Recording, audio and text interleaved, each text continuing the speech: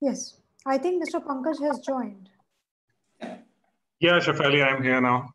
Hi, sir. Good evening. Good, good evening, Mr. Pankaj. Good evening, Ashish.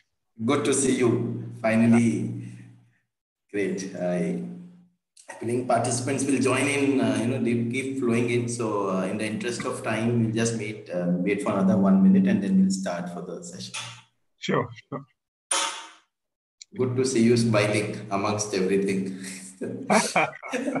that is the yeah. most important. That is the most important thing, which uh, know, gradually and uh, definitely defines the personality of a generally when we meet ceos we are very scared they are very serious. We are not supposed to talk much. We are supposed to talk finance. So great oh, uh, good evening friends. Uh, and uh, good evening mr Pankaj. Thank you for joining us. Uh, i'm ashish banka uh, this is our second series of ceo and hr then and now and uh, this time we have partnered, uh, bringing this program together with the Yung Minds and a dear friend Shefali. So with this program, while we had done the last session last time, and uh, you know it was in terms of knowing CEOs better from an HR perspective, uh, because not much has been spoken about the cordial relationship between two of the sections but both of them are indispensable and you know this journey of understanding specifically from uh, the business leader will help the HR professionals and the young uh, individuals to know them better, to get a chance to speak to them. And uh, today we have a very special person, and we are, uh, you know, whatever little I've spoken to him. So this, you know, a brief summary will inappropriate to define him, but I will try my level best to so while this is the second series, today we have uh, Mr. Pankaj Dubey, CEO and President of uh, Consulting. Mr. Pankaj has an illustrious career spanning over two decades. He has been recognized as top 50 Indian icon in 2016, Black Book Top 100 Luxury in 2016, a TEDx speaker and an intellectual icon. Being an MBA graduate, he did uh, you know, various leadership programs from Kolkata, ISB, and Polaris. So the leadership, as we always understand, comes from within as well as you know, terms of understanding the programs which we do. He started his professional journey in 1994 with Escorts and rose to the position of CEO and MD. He was associated with esteemed companies like Hero Motors, LML, Intex, Yamaha, and finally Polaris, where he was the CEO and MD. He continues his journey of guidance to many corporates and individuals academics has been a niche place in the life of Mr. Pankaj, and he is on the advisory board of Amity University, NALSAR University, GLA University, and ITS. We are privileged that today we are having him here for this chat series, and you know it will be an insightful evening for us to know him better, to know the life of a CEO better, and to take insights from him and develop our lives in terms of our professional and personal. While I connected uh, with him this week, courtesy Shefali, and spoke for a couple of occasions, I immediately understood that he has a keen attribute for entrepreneurship and strategy. So these are the two important uh, pillars with him, which I have uh, understood. Taking this uh, discussion forward, and while we understand, we are grateful to have uh, Mr. Pankaj on our chat series. First important uh, thing we would like to understand, sir, that how has been your relationship with hr team in your companies and how do you look at them especially in the terms of key deliverables? Yeah. Uh, so thank you ashish first of all for the introduction. And thank you shefali for inviting me on this forum. Uh, you know i always felt that if a manager has to grow in his life he has to first become an hr manager. Because hr as it suggests, is about human relations. And if you are not uh, great at human relations, you cannot be a successful manager, even if you are in manufacturing or you are in any supply chain or marketing or sales, any field that you choose, you have to be, first be expert on human relations.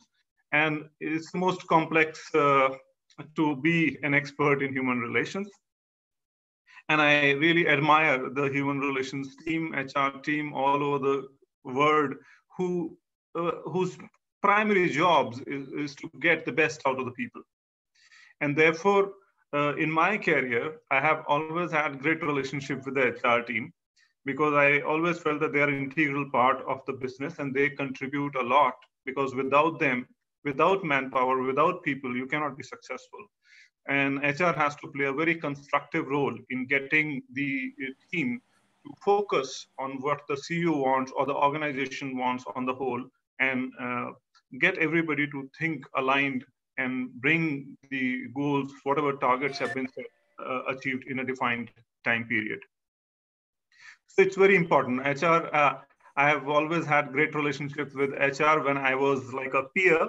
And when I became the CEO, even then, uh, HR persons were always very close to me. We would like to know from you that uh, what has been, so we are glad that you spoke so positive about the HR fraternity. But any one um, incident which you would like to recall where you felt that HR could have done better in terms of their deliverables?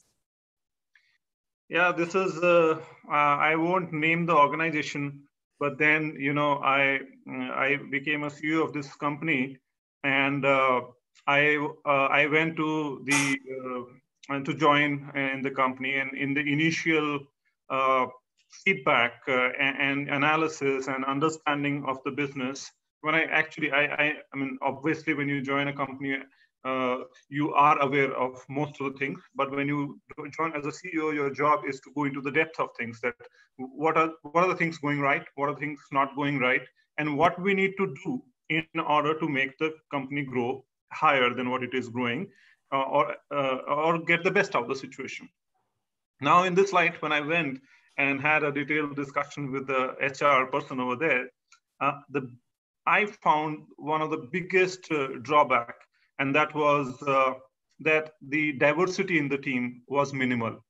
So they would feel that this uh, position is meant to be only dominated by uh, males, and this position has to be only dominated by X, Y, Z. And as such, in the organization, uh, the uh, contribution of the like if the if you see the population is almost 50 50 or 52 48 uh, between male and female. And in my organization, it's almost like 98 and 2. And, and I said, why? So the, the uh, usual, you know, HR, I mean, everybody, not just HR, everybody tries to defend what they have been doing. So they would say, oh, so these are, I mean, you know, it's engineering jobs. It is all about, you know, going into interacting with workers. You can't place, uh, you know, you can't use diversity over there and get females. It will be a trouble and all that and and you know i've come from a background where i've uh, helped a company uh, form a full uh, line with only females working on it in an automobile field so so i uh, obviously i would confront the hr no this is not true. It's not going to happen. I have seen in japan in uh, in, in, china uh, i mean almost like they're like 70 to 80 percent female and only 20 to 30 percent male in an automobile or a telecom industry. So the vision, the vision, and, and you know, there are certain times when you are working in an X uh, manner and you get used to of it. And then you don't accept the change because you have always worked in that direction. So I found that I confronted and made the changes. So I would say that this is one incident. I, I mean, I would like that comes to my mind straight away. That um, you know, it's a like a thought process that I've been going for years and, and I have a belief that you know this job can be done by only such persons, and you don't want to give opportunity to new, new people. I've always believed in uh, uh, you know if you have to get a best output of your team, you should have a number of things, but this is one critical element: the diversity in the team, uh, and especially you know respect for females because of coming from the culture that we are. We are from India and you know we celebrate Navratris twice a year. We pray to Goddess Durga, and we do so many things. And when it comes to work, we change completely. The, so I, I feel that you know you should give equal opportunity. You should never say that this job is meant for male and this job is meant for females. And going by all the experiences we have seen that females have actually overpowered in every field that you have given the opportunity, whether it is HR itself. So I mean, this is just one point, and then a number of ways that you can uh, um, most of my HR friends who would have been uh, listening to would have uh, been been feeling bit contrary because uh, the kind of um, organizations which we have come, we have you know generally run a di- gender diversity program in the organizations, and uh, we are the torch bearers in terms of this program. But uh, slowly and gradually, you know, we have seen specifically that uh, some industries have become you know stereotyped for gender and some industries have opened. So I, you know, absolutely agree that as industry perspective, we need to make a very unilateral decision, not the industry. Taking this discussion forward, uh, so this is about the HR team. Let us move to the big chair of the HR, you know, CHRO. And you must have interacted to the head of HR's number of time in the boardroom and all. Uh, one quality of CHRO which you have admired over the period of years and what do you think, you know, what has been the impact of CHRO over last a decade, you know, since the business partner term has been coined and HR has become an integral part of the business, you know, some business. Uh, what do you think uh, in terms, you know, intrinsic quality of a CHRO and where do you see a CHRO's uh, viability in a business in terms when he or she is chairing the board uh, members chair? So uh, the you know performance, how to improve the productivity and performance is the key task for every manager in the organization. And uh, how does you get the productivity if you create an uh, working atmosphere where there is optimism, you know there is a, a dream which can be achieved, and uh, everybody believes in that dream and and everybody is uh, believing truly and then working and an action plan has been made so that you are working towards achieving that. This is a, a place where you actually go and, and everything will become uh, uh, optimistic and and if the the goals will start getting achieved you will take everything very positively. Even if you are uh, not able to do so then you make countermeasures uh, on the failures. Now what we expect from an HRO or a CHRO is to actually look after this aspect. That every person who's organ- who's in the organization how they are linked to the goals that the organization have how they have and he should be a very compassionate person. You know i have seen people who have been termed as a dead wood. You treat them well and you get a huge output from that person. So I would see a CHRO as a very compassionate person. When he sees a person, whether he's a performer or a non-performer, he identifies the root cause, it why he's performing and why he's not performing, and then he creates an environment where a person wants to perform and give more output. I'd like to give you a very small example here. You know, when I was I did my first uh, corporate job, and uh, for the first time in my career, when I became a manager, uh, and when I became a manager, I was working for this company Escort. And when you become a manager, there was customary in the organization to be uh, assigned an assistant to you. So that those were the days when you know every manager had an assistant. So today it's a luxury because uh, everybody's talking about lean and. But then you know, I was assigned a, uh, this person, and when I interacted uh, with him, I was very happy because you know, first time that's like a very big position you're getting, and and you, it's like a prestige that you now you are also getting an assistant. Now, you know, as some of the colleagues, you one person comes and says, "Be careful, this guy is very dangerous." You know, this guy was earlier assistant of a general manager. You know, he threw a hot cup of tea in face of the general manager. And that is why he was pushed out and now he has been assigned to you. Now, what you will feel? You will feel, you know, oh, ah, I mean, is somebody trying to take revenge from me? That's why this person has been assigned to me. Or there is something else what I can do. Now, I interacted with the person and I said, what is your, uh, I just wanted to know from where he is, what does he do, what's his qualification, and how long he has been working with the organization, just a personal chit chat, which normally HR persons will do. So uh, I, I, did that and I realized that this person is overly, overqualified for the job that he has been given. He's an assistant, but he has done masters uh, uh, twice. So he's a double MA. Now, if you ask a double MA ki tu chai leke aa, ja photocopy obviously at times he would get frustrated and then he uh, reacted. Now I spoke to him, I understood his needs, and then I said, besides this, okay, you have been assigned to me, you can do what uh, is been told by the company, but what is your interest level? What what extra have you learned in all these years? Is there any interest level? And he said, yeah, yeah, I love, I mean, those were the days where computers were like a, like what um, uh, today we are talking about big uh, technologies coming in, artificial intelligence coming in. In the 90s, uh, computer was the same a computer will destroy all jobs. There will be no jobs available. Uh, you know, everybody will lose jobs. So now this guy knew how to use computer and said, okay, you know how to use computer. Great. Uh, have, uh, have you, so what can you do? He said, sir, I can do whatever you say. So I said, okay. So I introduced him to the IT person. I said, I want him to do some data entry for the uh, department. And so give him a seat in the IT.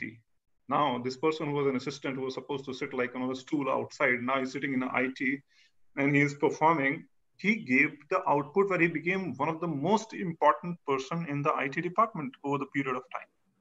So I gave you this example from my personal life and my personal experience is that as a, every manager is supposed to have the whoever is assigned to you, whoever is available in your organization, you have to try to extract the best out of him. Maybe he's been, now he's been termed as not a great performer, but when you go into the depth of it, you will realize it's not his fault because he's not the right person at the right job. And therefore, when you give a slight importance to that person, the output multiplies. And this is what I would expect from CHROs. And this is what I see some of the great CHROs, they do that day in and day out. They, they are always there to support, to see that how I can get the best out of my people whether they are entering the organization, whether they are performing to the organization, even when they are leaving the organization, how well do I treat the people? That is what a quality CHRO person I would envisage or I would expect to be. And, and that is the kind of a leader that I would always like to be associated with in the organization and who can be part of the board or you can even lead the organization. And today this, this become diminished. The difference earlier was he's a HR head, he's a you know, sales head, he's this head, and, and everybody is sitting.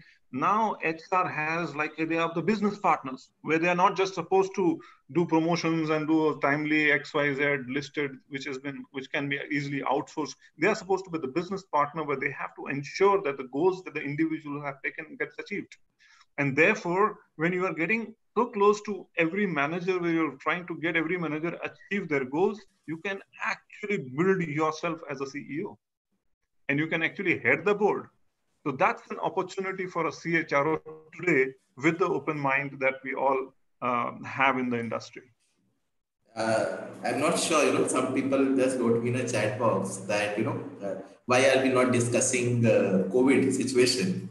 I will all come back to them and say that we are having a career planning session from a CEO where he is driving the HRs to become a CEO. And, you know, this can be the best platform because, you know, ideally this kind of inspiration, Mr. Pankaj, is very important, specifically the self-belief. The CEO HROs which I have interacted uh, and while leading a big team in current my organization, we generally follow, you know, I have seen all them to follow the principle of three C's to three P's. So the three C's is your communication, conduct, and connection. Which moves to three P's is people, performance, and purpose. So while this journey of three P's and three C's, which we try to bridge together, you know, uh, and after speaking to you and getting your belief that we can become CEOs, I think some of them who are uh, listening to this live program will come back to us and say, you know, we have the aspiration to become a CEO. So we can manage finance because generally when we look at HRs and safety team, we are looked as uh, teams who are only uh, coming back to us for expenditures. You know, we are like walking uh, ATM banks, and you know whenever anybody can draw money out of us, and we are expenditures. But you know the analytics when we look back in terms of you know financial angle is very important. Moving to this, you know, since one of my friend has asked for the COVID, so I will go back to the COVID. We have spoken a lot about COVID. We have heard COVID. Now we are coming out of COVID. What do you think in terms of financial and culture? Uh, COVID has transformed the organizations and how this situation will shape up in this financial year? Okay. uh, yeah, I'll, we will get to COVID. Before that, I just want to complete the last uh, thing that we were discussing for the CHROs, where uh, you know you are you have been uh, people are looking at you as an ATM, is what you said that you are uh, seen as that you will provide some money to them, and which is a very good source. You know, a person who owns the ATM is the most important person. At home, also, if the home ministry, the wife says no, no, then it is no so the money where it lies, that's the most important person in the organization. Now, it all depends upon how you think yourself. I'm just an ATM, everybody is coming, withdrawing money and going off, doing nothing. Or I have the most resource in the organization. And therefore, when I'm giving the resource to the person, I would say that, okay, you take it, but please give me the output also. I need this. And when you think on those lines, when anybody thinks, start thinking on that extra lines, that I if I'm doing something which is a routine job, but can I think something extra? That can I align this person who's taking money from me to ensure that he achieves his target? And then, then you align yourself and take that. That is where, you know, these CHROs, those CHROs who are thinking like that would become the CEOs. Now, coming back to the COVID situation, it's a, it's a very alarming situation. You know, we all know that nobody was aware that something like this is going to happen. And in January, February, the life was at the peak, everybody was doing normal, industries were doing normal. Even in China, when the things happened, we thought, oh, it's like that only. So the world, everybody caught by surprise by March end and then May, April, May. And as a result, you know, the situation became very grim. Now it is improving, at least on the business, because the lockdown is over in India. But still, we are not out. It is going to be a long haul, and the challenge will continue for us. Uh, under the circumstances, what is most important is you know the economy has really suffered from where you know the we were talking about a gdp which will be like uh, going uh, anywhere from 5% to 8% uh, the government was talking about an 8 trillion economy. And in the next uh, few years 5 years 7 years time now all that has uh, suddenly got into where we are going to get negative gdp we are also going to face a challenge where you know it will be the industries would undergo a huge change. What was aviation was a very dream uh, industry but it was the worst hit during this time and it will continue to be so with the challenge there's so many uh, luxury products automobile products got so severely hit and, and you know these are the major economy factors these are the major industry which contribute a lot to the overall economy. Under the circumstances, you know, you know the, there'll be so many, and these are not just the companies who are into this field. There are ancillaries, there are indirect outsourced people working there. There are, so uh, there's a huge population linked to that. And that is like, we just gave you two examples of the industry, but then there is a host of other industries which also suffered a lot. Once this thing gets over or like we are getting trying to get back to normalcy you never know again another bout might come the second round would come and everything comes to a standstill again now what is most important at this time what is going to so that every manager has to think in the, at this time first and foremost that your company should survive.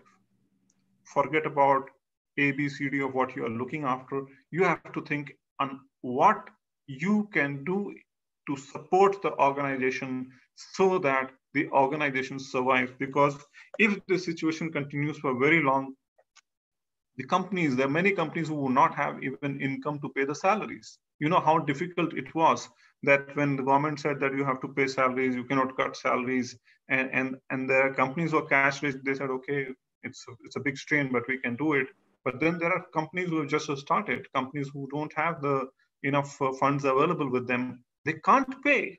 So what happens to them? All the smaller organizations who are ancillaries to the big uh, organizations, many of them may or may not survive if this uh, continues. I think if you analyze the decision of the government, they if they were only thinking about the people, they would have extended the lockdown again. But they thought about the economy. They thought about the companies that you know if we continue even further, there'll be no money available with companies. There will be no availability of funds. Even though the government will face the challenge because GST is not coming in, people income is will go down. Then their taxes would get reduced, when when government will not have money, how would they run? So the key and the most important thing for every manager in the organization is that the ball should be rolling. And therefore, we have to look at this crisis time very differently from what we were looking at earlier. I understand that the entire uh, HR fraternity, I mean, this is nothing new. Everybody understands this is a very serious situation. But what have you done at, to contribute to uh, what have you done in order to contribute to the to the organization in such a way that the organization survives or thrives? So there been a challenge in many. Uh, there's been a challenge in some industries Request uh, the participant to please. Uh, sorry, sir. So the foremost thing is to make the organization survive and sail through this troubled time. Uh, the organization uh, has to, or and then there might be opportunities at this time. So you, you, the top management has to be, whether it is finance or HR, has to be very close to the CEO to see that can what can we do like if you are into heavy industries, what can you do at this time when there's a total lockdown? Say, for example, what did Mahindra and Mahindra did? Mahindra and Mahindra came out and said that, okay, we are experts in automobile and the country needs right now ventilators. Can, can I make ventilators? So the engineers who had never thought of getting into the medical field, they designed and created the ventilators that in case if there is a need, these ventilators can be uh, produced and can be supplied to the government and medical uh, uh, hospitals and other requirements. How do you deal? I mean, there's so many things. Everything is on, was on a standstill, but there was a shortage of masks. There was shortage of, uh, um, I mean, all these uh, essentials like cleaning your hand, sanitizers, companies, the intelligent people, they they immediately switched to this. They sourced it and they started supplying and making some money out of it. So you have to always so in times of this, this such circumstances, whether in you're in finance or you're in HR, you have to think out of the box to say, these are the areas, my core areas are blocked, nothing is going to happen. But if if the company has to survive, then what can we do right now? everybody is sitting at home nobody can come out of the home right now there was a total lockdown like nobody was seen on the road but you do you know that there are a lot of companies who got into trouble and but there are a lot of companies who use this opportunity and they created huge business at this time because they saw these opportunities and they did something extraordinary out of the box at this time and they got huge business there are certain companies there are a lot of people who have lost jobs during this time. There are a few people who have got promotion during this time also, during the COVID time. So what what can we do? What are you thinking? What are you doing at this time is the most critical uh, for every manager.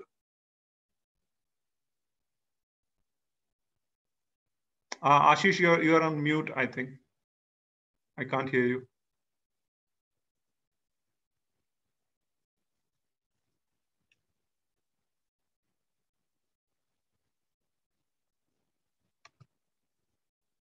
Shefali, can you hear? Uh, I can't hear Ashish. It, it, it appears, Ashish, that you're on a mute.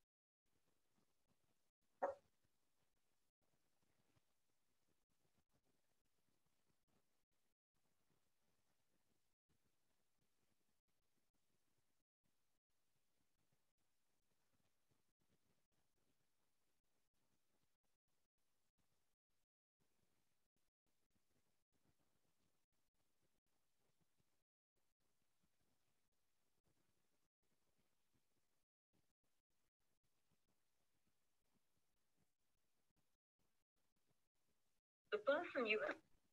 Yeah, I'm back. I think, uh, you know, I'm sorry, participants, for this trouble, but uh, we are living in a world which is more digital now. So, digital will have its own challenges and we need to cope up to that. That was so great, uh, Mr. Pankaj, to hear that, you know, in terms how we have to. So, what I understood that innovation is very important for the organizations. And the second is in terms, uh, most importantly, is that uh, in terms this survival is the very important aspect specifically for some industries which have been deeply impacted like hospitality tourism and uh, your uh, yeah. other segments which are related to service industries. Moving back you know since you mentioned about crisis my next question comes crisis management is very important aspect of any life or a business. So you know in terms of your experience can you share you know in terms covid is something which we all have seen you know, together as in a lifetime and hopefully we might not see it again. But uh, in terms of your experience specifically either it can be one from your life or one can be from your business an acute crisis which you have come through and how you have taken a decision which has you know sailed you through that? Yeah so i'll give you an example of uh, one of the organization that I was working for, Hero Motors. I was the sales and marketing head of the organization, and uh, we were in an industry where uh, you know Hero Honda was there, which were into the motorcycle segment, and Hero Motors were looking after um, the mopeds and uh, scooters business. So uh, the moped business was uh, that was led by the model called Hero Puch. Um, many of you must have heard about this or used the product and then there are like there were others like hero easy hero winner scooters which were launched.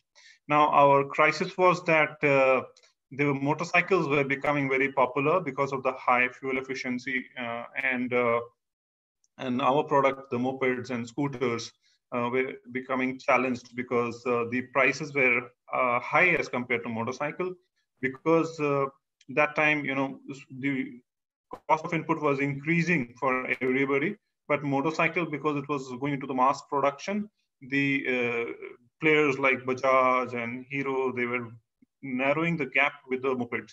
So the decline in the industry started happening to the tune of 30 to 35% year on year. So you decline from 100 to 65 and then 65 to say 55 and 50 and then, then that slide started happening. Now, uh, it's like a very similar to the crisis. I would say that every company is expecting a 30 to 40% downfall in the business uh, for some period at least. Um, and some companies feel that by 2021, uh, everything will become normal or maybe end of 21. But by that time, you will lose 30 to 40% of the business. And if you're lucky, maybe you can arrest some um, more, like maybe 20% down. And in, in uh, extreme situations, you can be at par or even growth. Now we had the similar situation. This is, I'm talking about years 1999 to 20, 2002. It's almost like 20 years back. And uh, we, we were facing the similar challenge, though there was no COVID. So we were freely, there were other restrictions are not there. We could move out, we could uh, go anywhere, but the customers were moving away from us.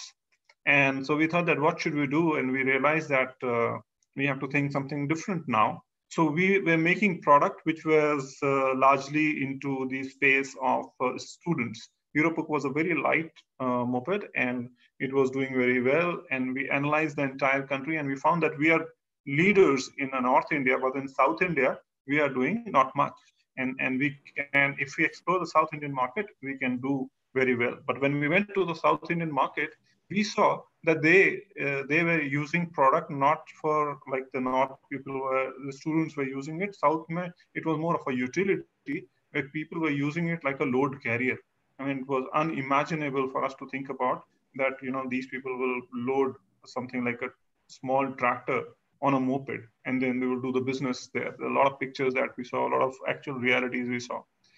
And and now we know that uh, and, and we, we checked out with the motorcycle companies that do you think that you would be able to take share of that more uh, that moped segment? Oh, so no, no, we have done the research, and that segment of uh, customer says no, irrespective motorcycle, I won't be able to uh, use the product. Why? Because in motorcycle, there's a full tank in the front, and then you're riding the bike.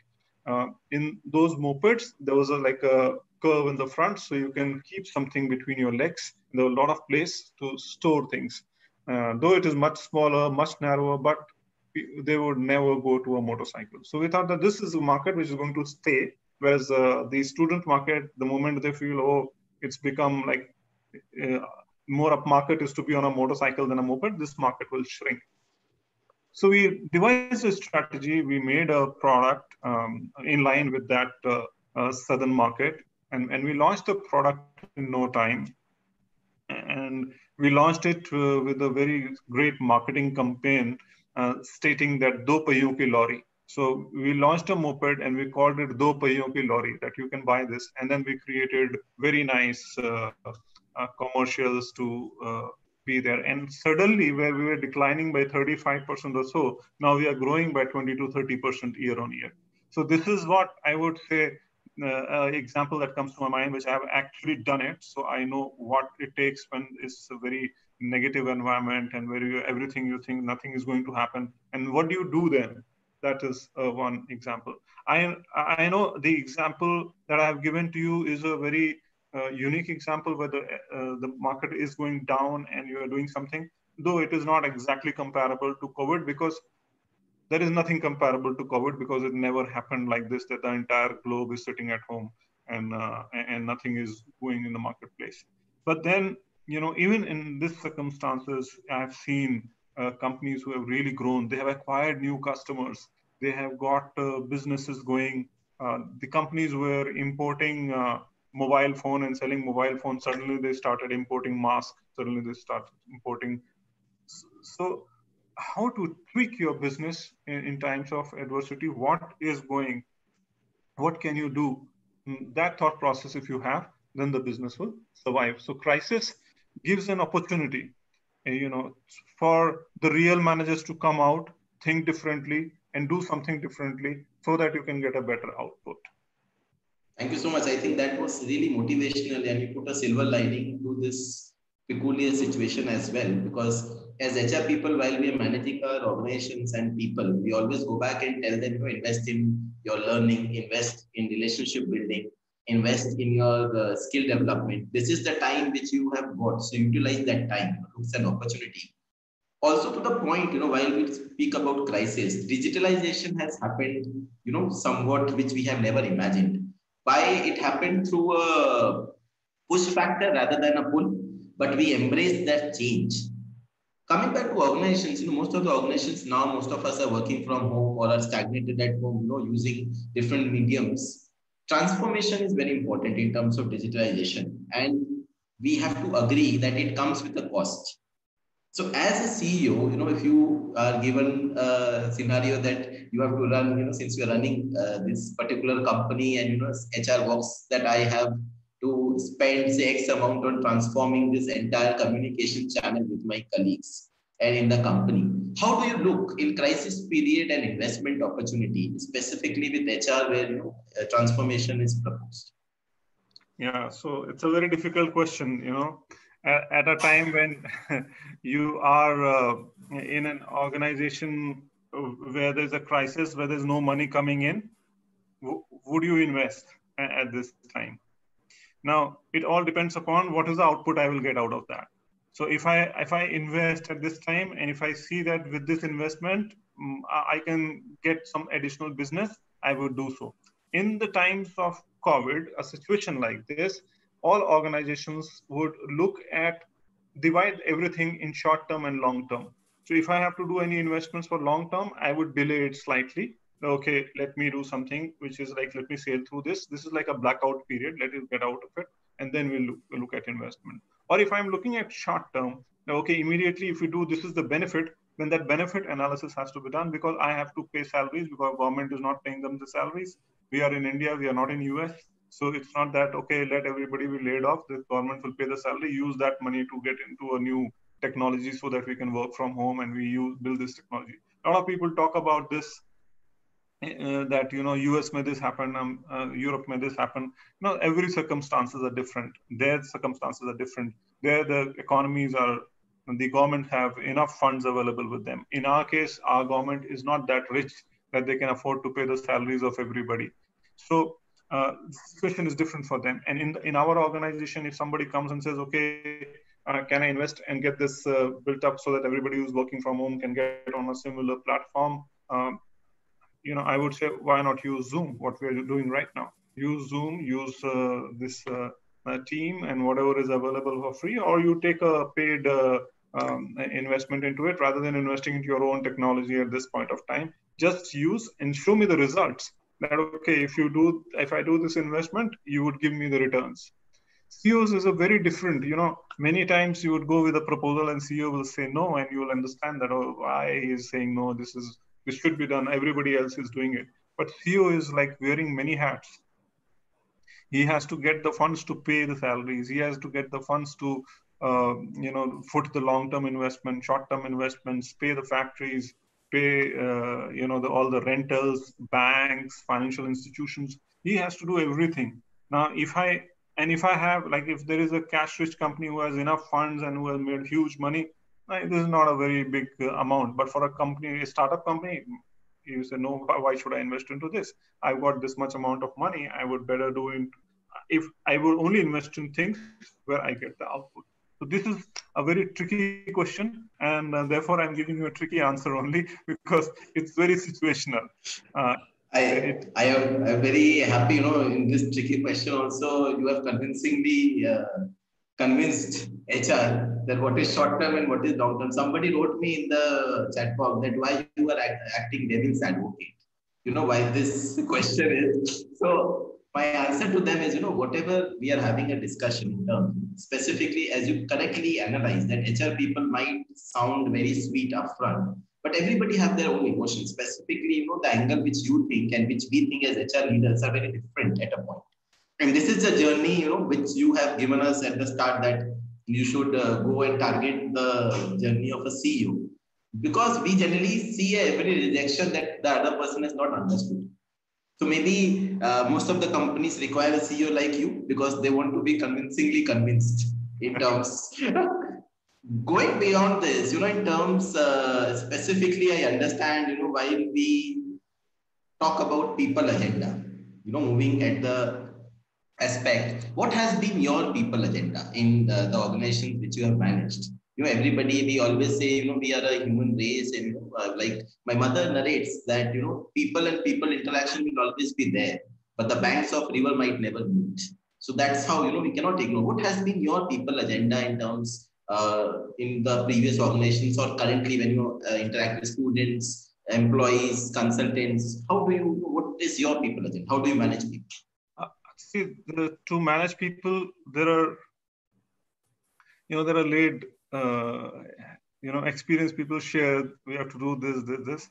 My things are very simple. I don't use any jargon but i just say please please have a dream. Everybody should have a dream. So i sell dreams to my team. So i sell dreams to my people who have just entered in the organization. Won't you like to become an hr head or a sales head as a sales head or hr head i will sell a dream won't you want to become a ceo and so I will always give them a challenge so that they start looking at some bigger picture of their life and they have a goal in front of them. And then I, I get a more output. I have been fortunate that all the organizations that I have worked, uh, especially where I was like a business head or a CEO, I have always nurtured my team in such a way that many of my uh, subordinates have become CEOs subsequently in organization, whether it was telecom or it was Yamaha or it is Polaris. I mean, everywhere I have nurtured my number two. Number two, not just number two, but the second layer of team. And I have seen that uh, when you give them the challenge, nothing looks small to them. And, and when you start working to, when they have that sort of a mindset, oh, I can also become a CEO oh then then you know you they start giving you more output. So selling dreams and making everybody realize that you know you can also do whatever you have dreamt or you have not dreamt so far. I use a very simple technology with the students because from my experience uh, i have seen that dreams. Uh, if you, if you go to my blog pankajdubey.net you will find there i've written dreams do come true So what I believe that whatever dreams that you set in, impossible dreams, it will be achieved provided you have a dream. And then I share certain things like you all the dreams should have a date. I will achieve this dream by this date.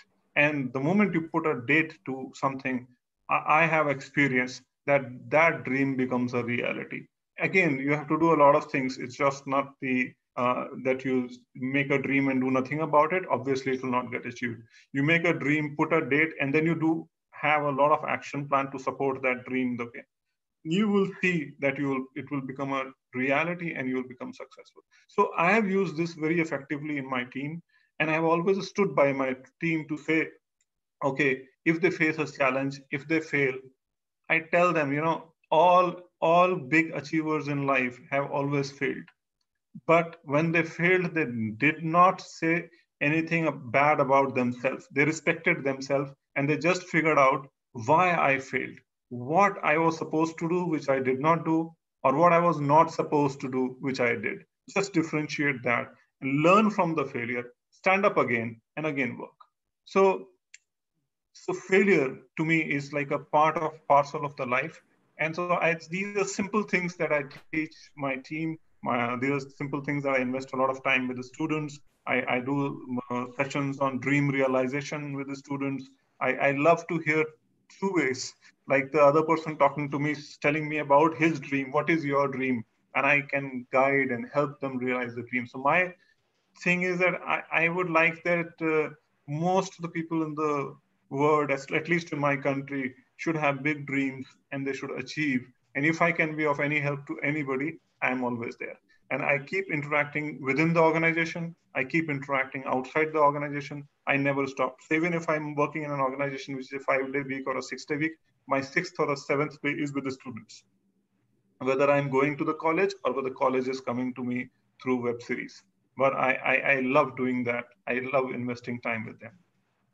Great. I, that was, uh, I'll come back to this summary at the end of this session. I will park this uh, very, very intrinsic thought aside. You know, coming back to the major change, we talked about changing in terms of, you know, adapting.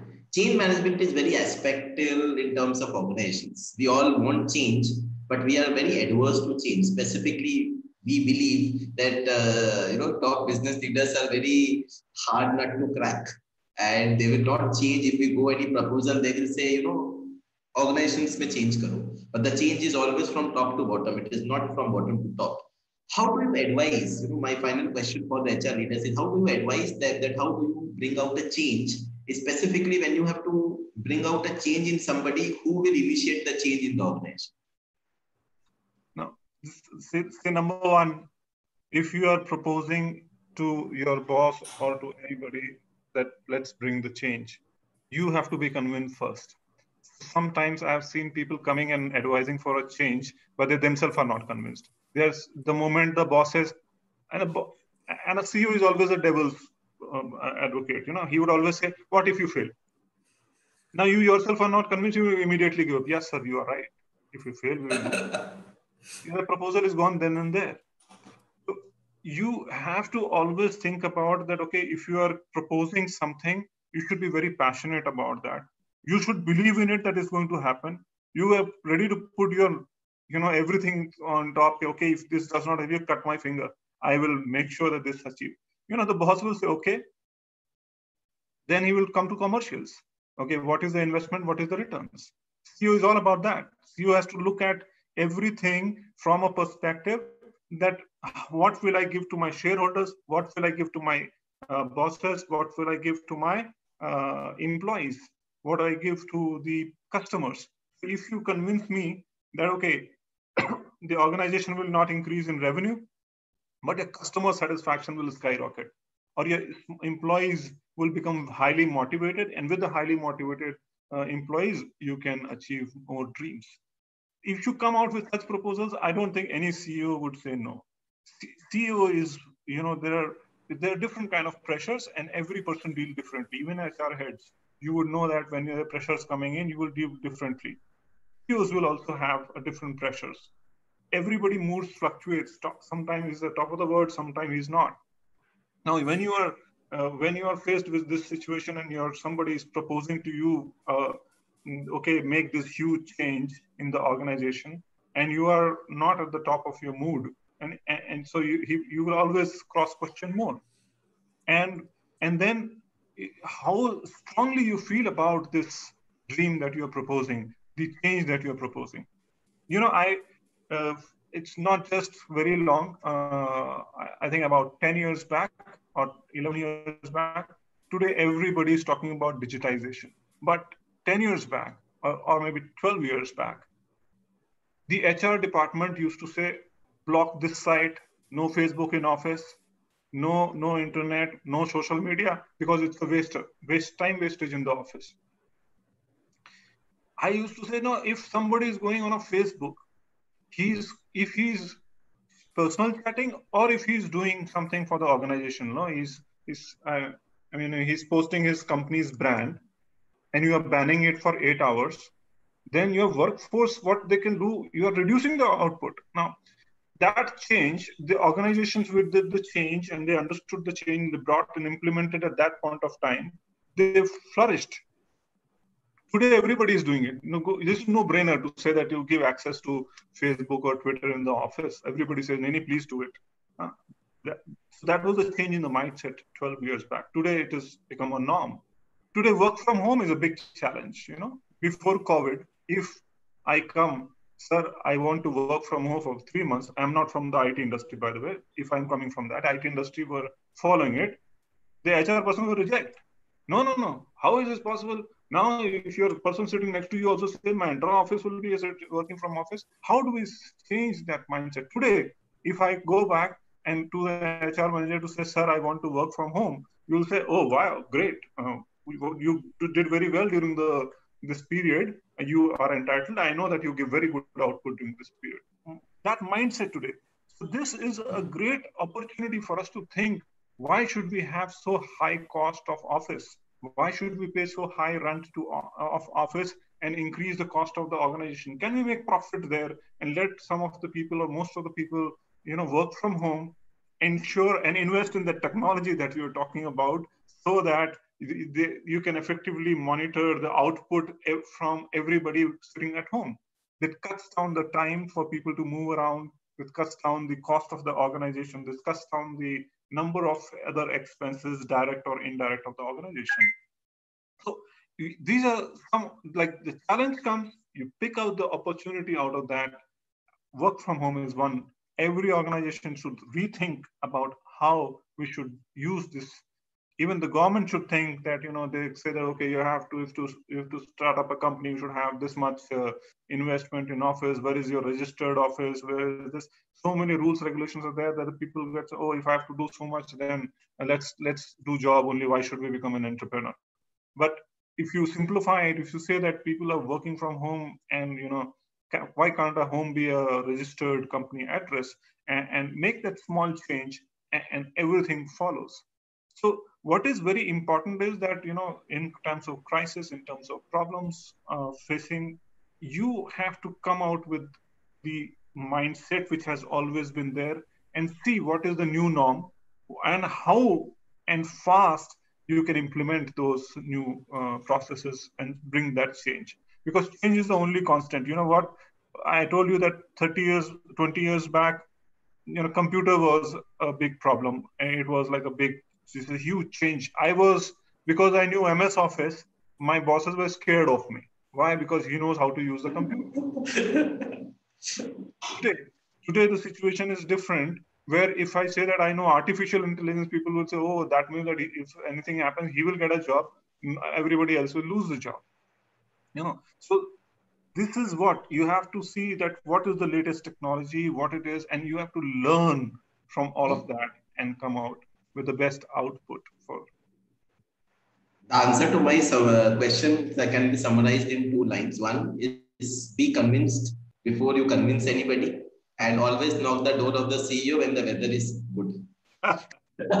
so moving back to the last segment of our uh, particular this uh, wonderful it's uh, difficult for me to even close down but we all have an interest of time so while we go back a very important uh, you know it's question both for employees and the students.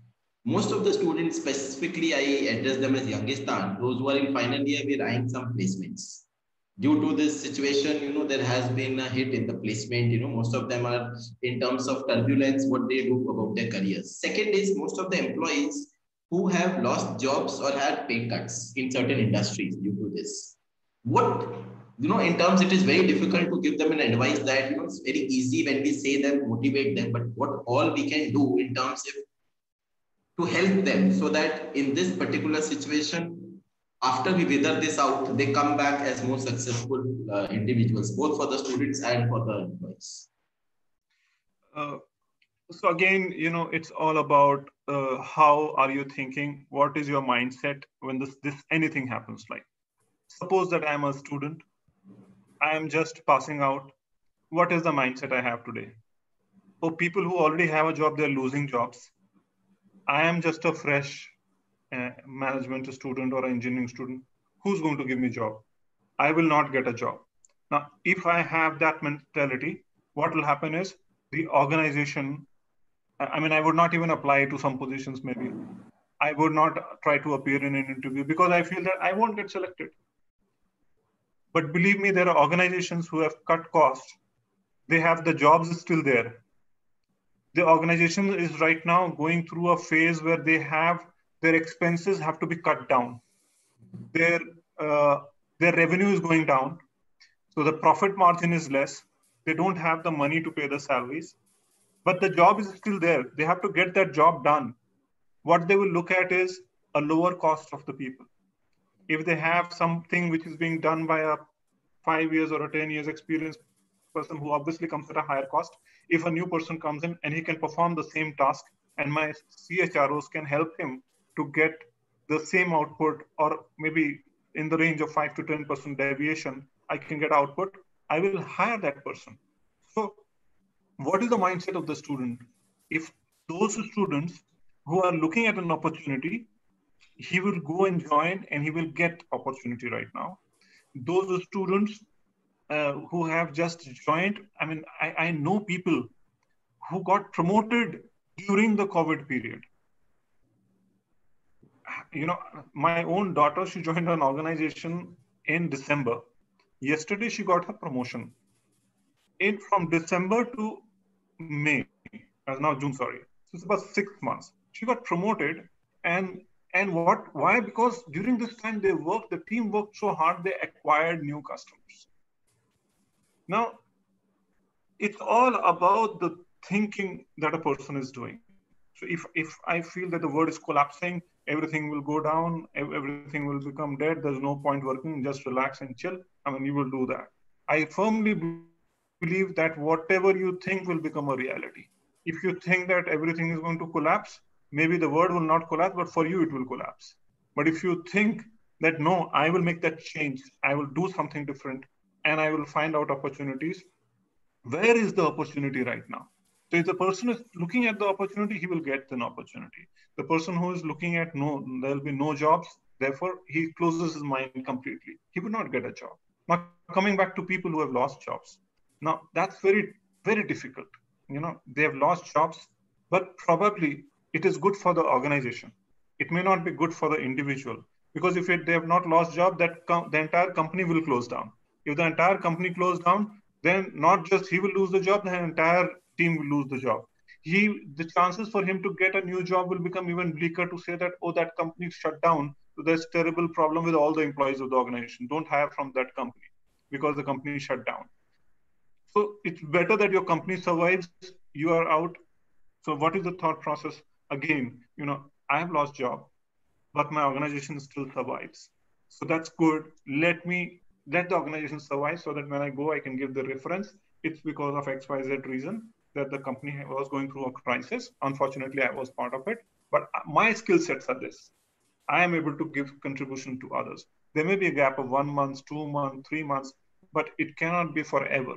I haven't seen anybody that you know you were working in the corporate field, you lost the job, and then for the rest of the life they never got a job.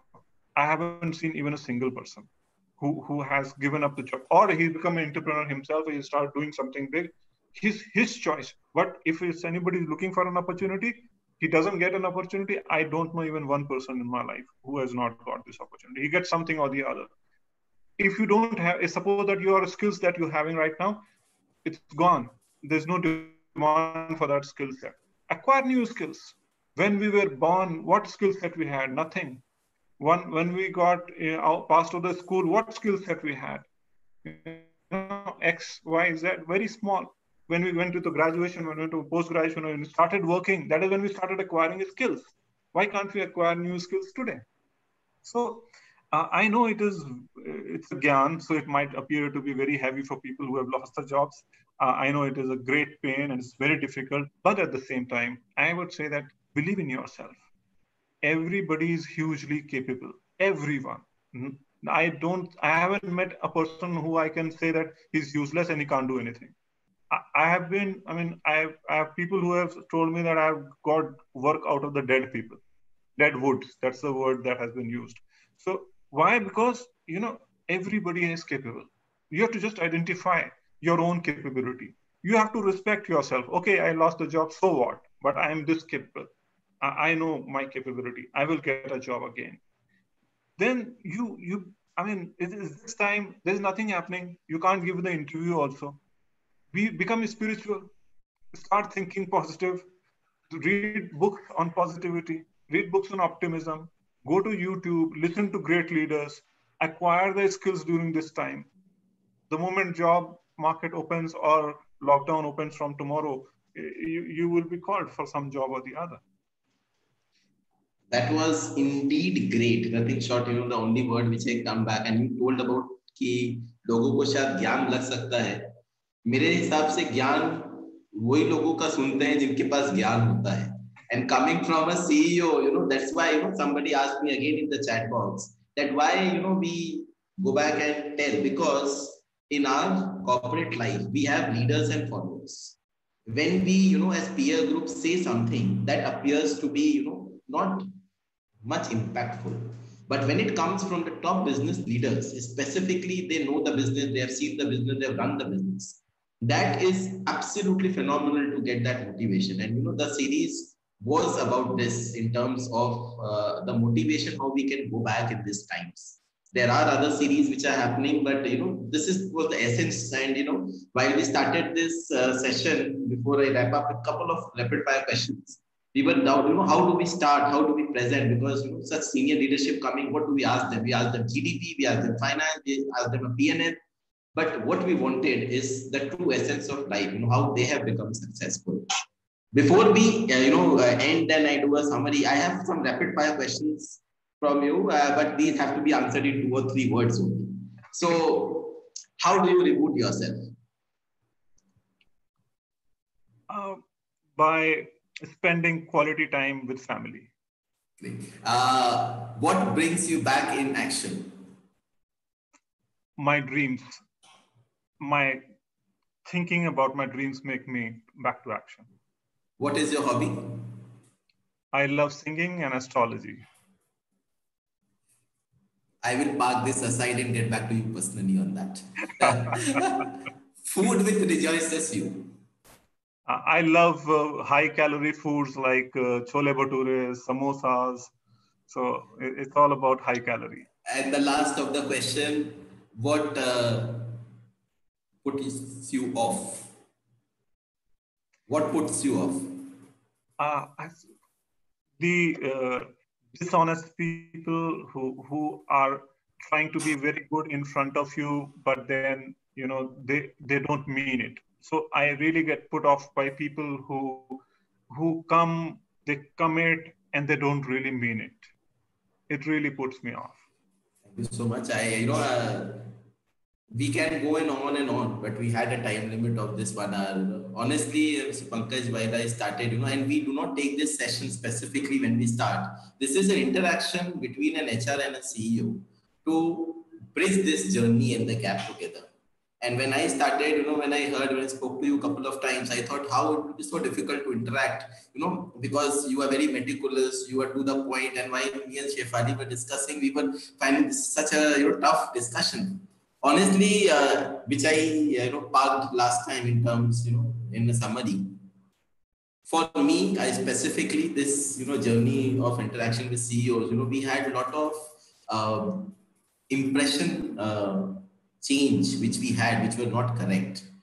And while we take this journey forward, for me personally, and I believe for all the audience who were there and you know live on YouTube who were witnessing, first session where uh, you know Mr.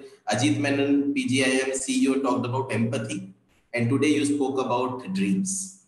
You know we at this age where so many technologies there people are out in the market they have all the gadgets. One thing which we all uh, you know uh, require and we will never say we don't require is coaching. And today you really coach this session saying you know achieving your dreams. Definitely we have to act to achieve that but one important takeaway from my you know this uh, discussion with you is more than knowing you personally has been uh, great in terms of understanding what you bring. You know, we we have become more relaxed when we interact with CEOs now, honestly. And now when we go back, you know, we will say, you know, we have people who can coach us. And you also covered that we need to be better human beings and specifically give a dream to everybody. Uh, thank you will be too uh, less for us to uh, from both Sampark and Yung Minds and me and Shefali personally. Thank you so much, Mr. Pankaj, for giving your valuable time and coming on this dais. I believe, you know, this has been one of my uh, very important discussions with the business leader, where people have uh, will come back and go and think, you know, we can do it. We will do it, and there is an opportunity to do it. So thank you for all the positivity which you shared with us. I believe the positivity grows with you more. And we will look back to have you again for some other session where we you know discuss. But uh, this was great mr pankaj. And i thank uh, shefali my dear friend for you know we take this uh, journey forward. I would like you to share your experience. How did you enjoy with an hr leader who is cornering you and you have to answer them yeah thanks a lot ashish. It was really a pleasure and thanks to shefali for getting me here. And uh, it's always a pleasure pleasure to interact with the chro because as i said you know if you have to really get something going you have to deal with the human beings in the right manner. You have to get them to do the best output. It's all about manpower manpower and manpower. And and hr is all about that. So i love to interact with the the people and and especially with the hr team so uh, i also uh, really enjoyed this conversation and uh, I will be very happy to be helping out any of you. If you, I'm available on social media, I'm a very accessible person. So you can reach out to me and I will like that each one of you grow in your life and many of the CHROs best wishes to become CEOs. Namaste and thank you so much, uh, Mr. Pankaj, for your valuable time. Thank you, everybody. Thank you, everybody, participants, for your kind, patient hearing.